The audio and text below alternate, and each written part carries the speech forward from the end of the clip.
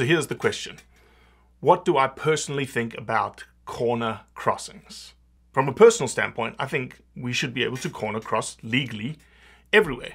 You legitimately can take one step from a piece of publicly owned ground and put it into another piece of publicly owned ground.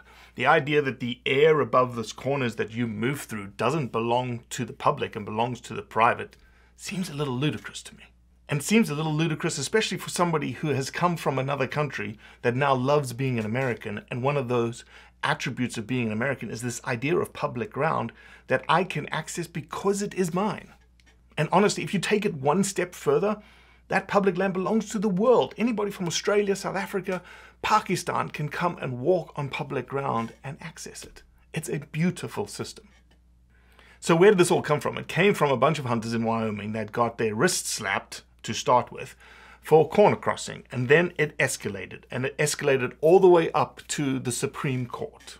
MeatEater, the local BHA chapter of Wyoming, raised a bunch of money to handle the legal fees associated with these guys' cases. So, in the middle of May of 2023, a federal judge in Wyoming ruled that public land users that corner cross are immune from civil liabilities as long as the corner crosses do not touch the private land. They go from public land to public land, right?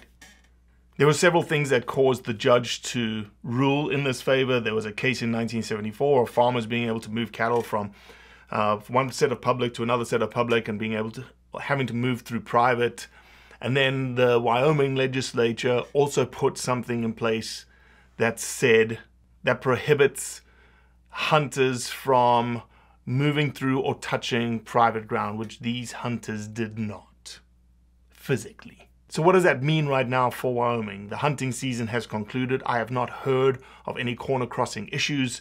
I'm sure people have corner crossed because, based on the law, based on the edict, based on the decision, corner crossings are potentially legal. I don't have the number of how much public land is now unlocked because of the corner crossing ruling in Wyoming. I've heard the number of 8 million acres are now available through the idea of being able to corner cross. I don't know if that is in Wyoming specifically or across the West that could be unlocked if corner crossing was legal across all of the Western states. But the landowners in this case that were suing the hunters have not appealed the case and the case is now finished. So, in Wyoming, do not take this as verbatim, but it is potentially legal to go from one piece of public to another. So I like it. I like the fact that public ground is now accessible to everyone, to Americans, to the world, to the thing that makes American hunting amazing. So that's my answer to what do I think about corner crossings.